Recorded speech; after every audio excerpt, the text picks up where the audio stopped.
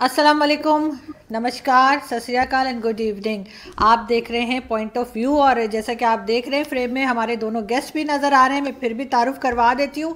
हमें जी ज्वाइन किया है इंडिया से कर्नल दानवीर सिंह ने, जो कि डिफेंस एनालिस्ट भी हैं और एक बेहतरीन इंसान है और हम अक्सर उनको डिबेट्स में देखते रहते हैं। इंडिया के भी और पाकिस्तान की भी डिबेट्स में देखते रहते हैं और फिर वो जो हमारे साथ होता है, वो शायद हम पाकिस्तान में बदला लेते हैं। कर्नल साहब से कि यहाँ भी हम उसी तरह के एंकर छोड़ते हैं, उनके ऊपर जो खूब चिल्लाते हैं और खूब शोर मचाते हैं तो अच्छा है उससे ज़रा एक्टिव रहता है इंसान और मज़ा आता है। और हमें जी पाकिस्तान से ज्वाइन किया है कमर चीमा साहब ने। कमर चीमा साहब को सब लोग जानते हैं जियो पोलिटिकल एनालिस्ट हैं इसके अलावा इंडियन टीवी पे पाकिस्तान टीवी पे सब जगह नज़र आते हैं। और चीमा साहब भी आ, मैं ज़रूर कहूँगी कि एक बेहतरीन इंसान है बहुत दफ़ा चीमा साहब का कोई शो होता है और उसके बाद मेरा शो होता है तो मैं पहले जल्दी जल्दी पॉइंट सुन लेती हूँ चीमा साहब क्या बोल रहे हैं। तो मैं भी ज़रा उनसे सीखने की कोशिश करती हूँ कि मेरे भी थोड़े से पॉइंट्स जो है ना वो सॉलिड हो जाए, मैं इधर उधर की उड़ा के ना हूँ तो थैंक यू बहुत, कि आप दोनों ने ज्वाइन किया। थैंक यू सो मच आज हम थोड़ा सा डिफरेंट इसलिए करेंगे कि बहुत दफ़ा हो गया कि आपने ये कर दिया, आपने वो कर दिया।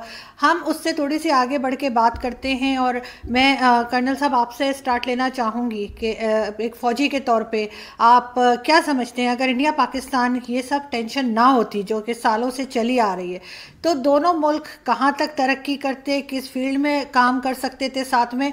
और हम यूरोप के मुकाबले में कहाँ तक आगे बढ़ सकते थे जो हम नहीं गए आगे और हमारी एक जगह रुक गई है, चाहे आप माने या ना माने, लेकिन दोनों कंट्रीज़ एक दूसरे के अंदर इतना ज़्यादा इंटरफेयर करती हैं कि जिसकी वजह से एक प्रोग्रेस हमें रुकी हुई नज़र आती है जो यूरोपियन कंट्रीज़ में हमें ऐसा नहीं लगता। चलिए मतलब कि प्रोग्राम हमें ख्याली पुलाव बनाने वाला है तो चलो फिर ख्याली पुलाव बनाते हैं। और अगर इस टाइप से होता कि हम दोनों बड़े अच्छे हमसाए की तरह रह रहे होते तो इसमें तो कोई दो राय नहीं है। मतलब ये तो कोई मतलब कोई इशू ही नहीं है कि हम में बहुत तरक्की होती। चार जंगे लड़ ली हैं और प्रॉक्सी वॉर लड़ रहे हैं हम। और आप भी अपने मुल्क में इंटरनल सिचुएशन से डील कर रहे हैं। लाखों करोड़ों, अरबों, खरबों रुपया जो है दिफा पे बर्बाद हो रहा है। और इंसानी कीमती जाने जा रही हैं।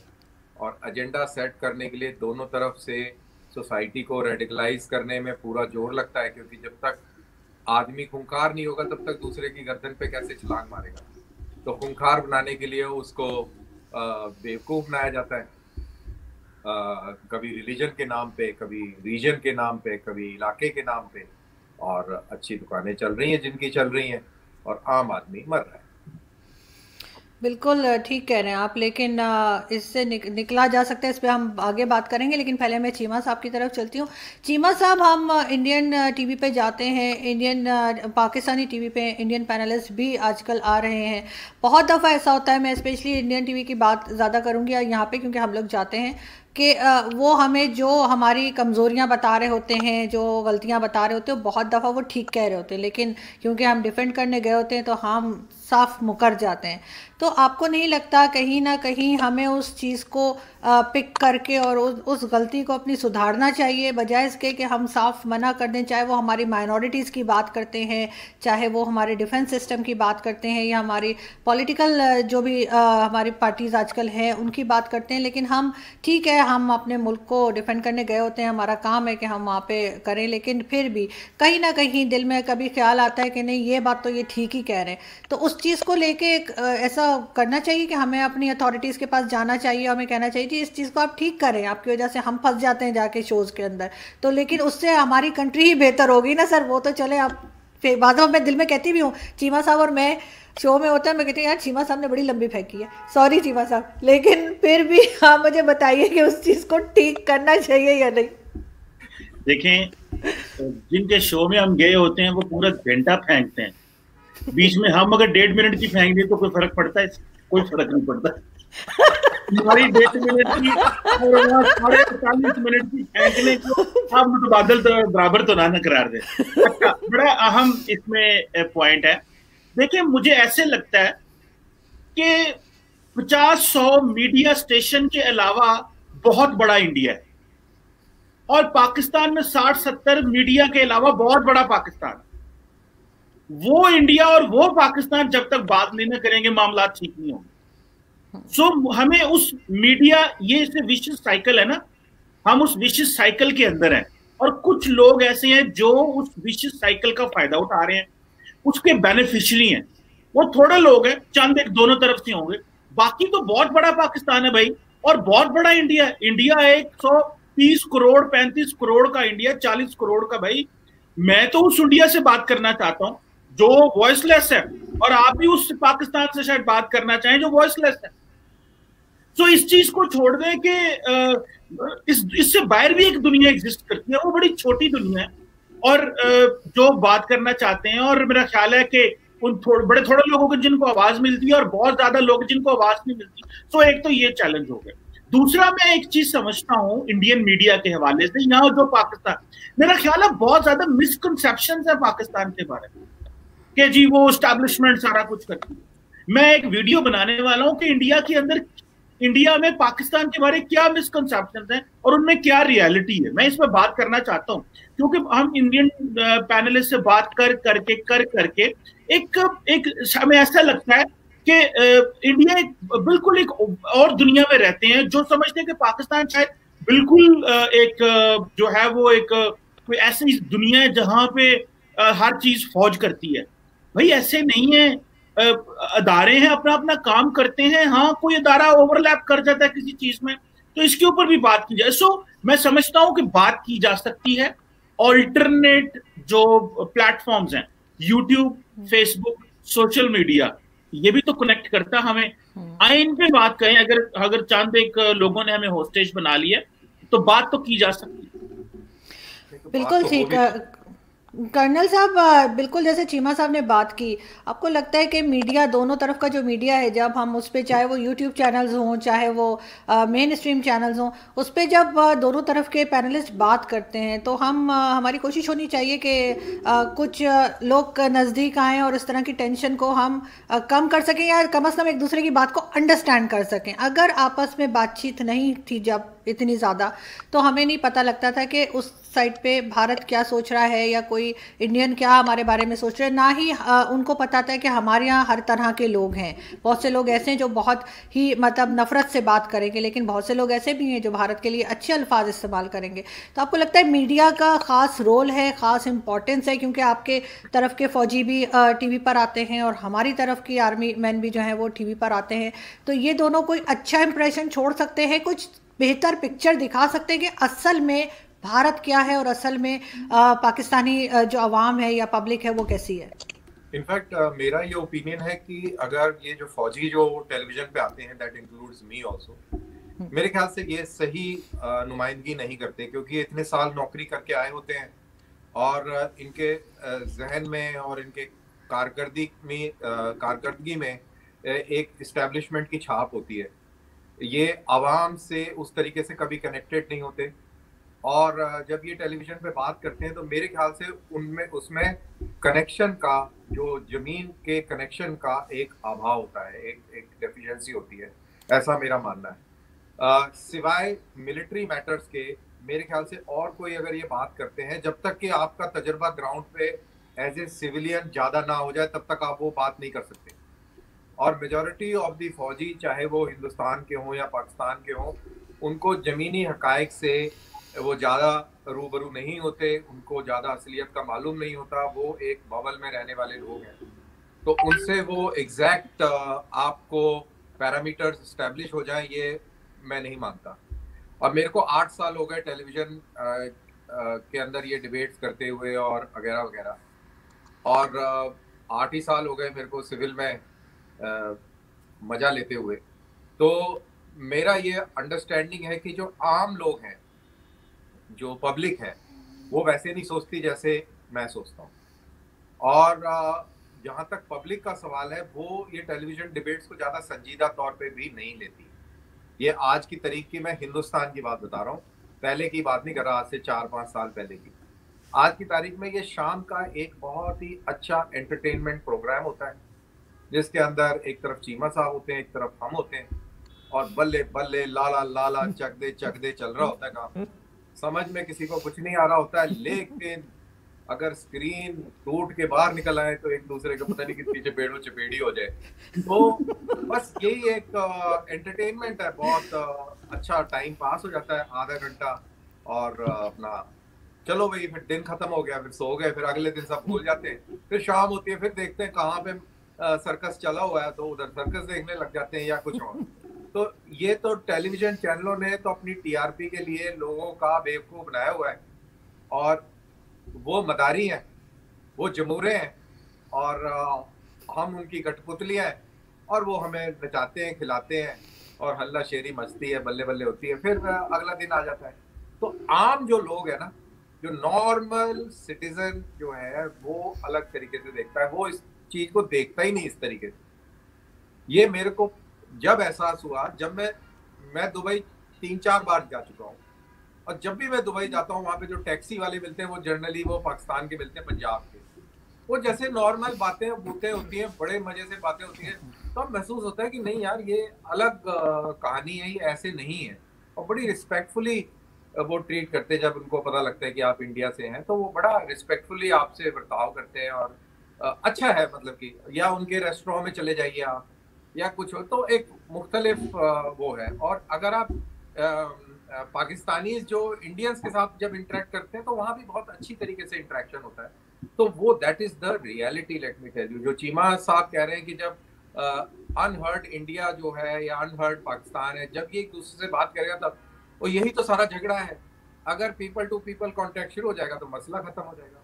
मसला अगर खत्म हो जाएगा तो अब थोड़ी सी मैं तंग बात करूँगा, मसला अगर खत्म हो गया तो फिर असलियत पे सवाल आ जाएगा, रियलिटी पे सवाल आ जाएगा, आपकी जो पकड़ है उसके ऊपर सवाल आ जाएगा कि यार तो हमारे हाथ से तो वो रेत निकल गई हमने जो पकड़ के रखी हुई थी। तो रेत खिसक जाएगी, जब रेत खिसक जाएगी तो जो फजलुर रहमान की कल जो क्लिप आई है, जिसमें वो कह रहे हैं कि हमने जी चाय वाई नहीं पीनी है, वो आपने देखी होगी। तो फिर वो कैसे होगा? तो ये सारी चीज़ें हैं और ये सिंस आई एम मैंने आपका हवाला लिया, वही चीज़ हमारे यहाँ भी है। अगर यहाँ पर अमन अमान हो जाएगा पाकिस्तानियों के साथ दोस्ती हो जाएगी पाकिस्तानियों के साथ दोस्ती हो जाएगी सी, मैंने आपको एक पहले भी प्रोग्राम में बताया कि पाकिस्तान की बैशिंग इसलिए होती है क्योंकि वो हिंदू मुस्लिम वाला खेल है। और कोई खेल नहीं है। अगर आप पाकिस्तान से दोस्ती कर लेंगे तो मतलब कि हिंदू मुस्लिम इशू खत्म हो गया। और दोस्ती करना कोई मुश्किल काम नहीं है। जो हमारे जो फ्रेंड्स हैं, वो तो दुनिया भर के मुसलमान हैं। एक दूसरे के घरों में आना जाना, बैठना, उठना, पार्टी पुर्टी अल्लाह गुल्ला, मस्ती, मौज। पता ही नहीं लगता कि कौन मुसलमान है और कौन हिंदू है। मेरे तो किराएदार दो मुसलमान है। तो बड़ा ख्याल रखते हैं मेरी मदर का।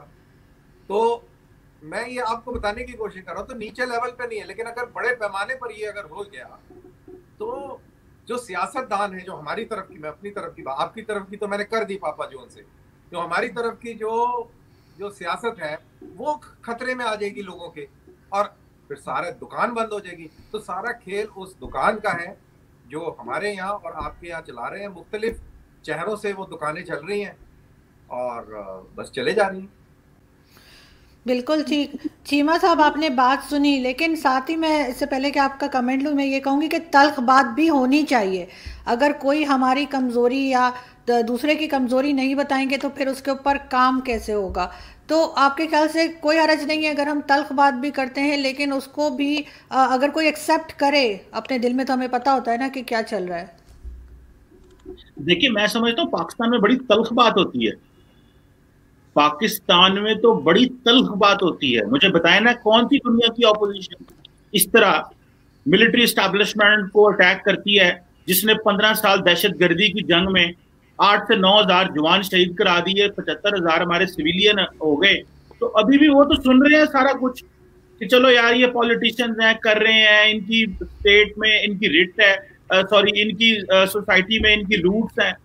तो सुन रहे हैं ना भाई, ये तो मैं तो समझ उस बात तो बहुत होती है। मैं तो इंडिया में कहूँगा कि इंडिया के वज़ीर आज़म जो है, नरेंद्र मोदी साहब, वो तो मीडिया को लिफ्ट ही नहीं कराते इंटरव्यू नहीं देते वो तो। और बड़ा मैनेज्ड इंटरव्यू देते हैं। जबकि पाकिस्तान के जो प्राइम मिनिस्टर है या यहाँ पे जो लीडरशिप है वो तो मीडिया को फेस करती है। सो so, तल्ख बात जो है अगर आ, आ, की जाए तो दोनों तरफ़ से ही तल्ख बातें तो आ, होती हैं।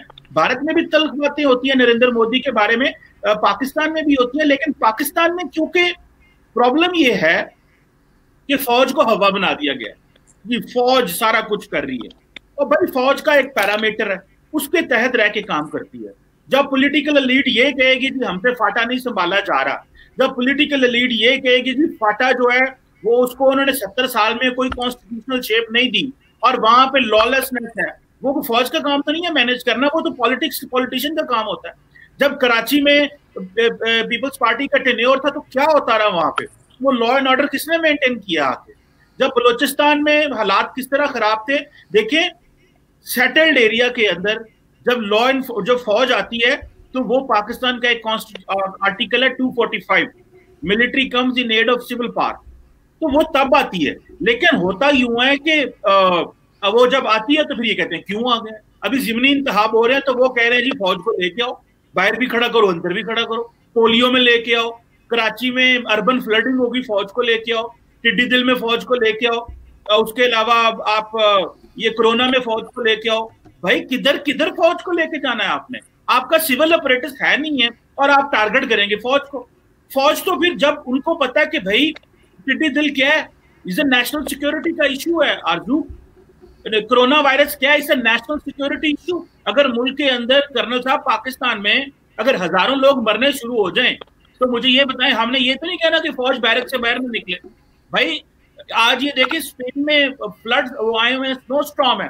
सारी स्पेनिश आर्मी सड़कों के ऊपर दुनिया में होता है, लेकिन प्रॉब्लम पाकिस्तान का ये है कि पाकिस्तान में थोड़ी और तरीके से फौज को डील किया जाता है। सो मेरा ख्याल है कि फौज भी इसी मुल्क के इंटरेस्ट को प्रोटेक्ट कर रही है पॉलिटिशियन भी इसी मुल्क के इंटरेस्ट को प्रोटेक्ट कर रहे हैं, और जो आप बात कर रही है ना, कि जो सख्त बात बर्दाश्त करनी चाहिए, वो काम भी करते हैं, सख्त बातें भी बर्दाश्त करिए और उस रेफरेंस में ये सारी बातें आपको बता रहा हूँ। तो भारत में मैं समझता हूँ कि वहाँ पे भी जो लीडरशिप है, मुझे ऐसे लगता है कि नरेंद्र मोदी साहब as a prime minister listen to media at all वो तो इंटरव्यू नहीं देते, मैं कर्नल साहब ज़्यादा बेहतर बता सकते हैं, वो तो प्रेस रिलीज़ भेजते हैं। वो तो अपना ट्विटर पे पैगाम भेजते हैं।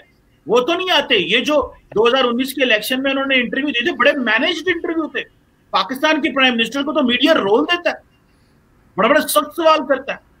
और अपोजिशन को भी। तो मेरा ख्याल है कि सख्त बातें पाकिस्तान में बहुत होती हैं आरज़ू। मैं इस बात को मानने को तैयार नहीं हूँ। हाँ सख्त बातें बहुत होती हैं लेकिन कोई एंटी स्टेट एजेंडा नहीं होना चाहिए। एंटी स्टेट देखिए अगर ट्रंप ने एंटी स्टेट काम किया है तो सारा अमेरिका उसके खिलाफ खड़ा हो गया।